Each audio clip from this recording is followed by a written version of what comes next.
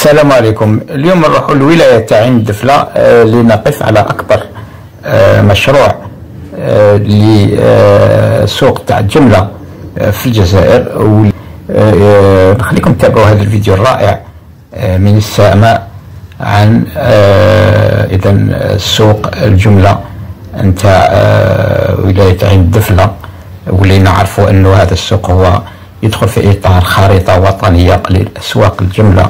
في كل ولايات الوطن آه، واللي هذه الخريطة آه، يعني آه، سوف تنهي إلى تنظيم السوق الوطنية وهيكلتها.